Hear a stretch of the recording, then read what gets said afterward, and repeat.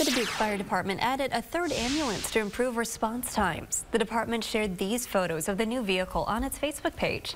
It says the new ambulance will help its goal of responding to nearly all of its calls within six minutes.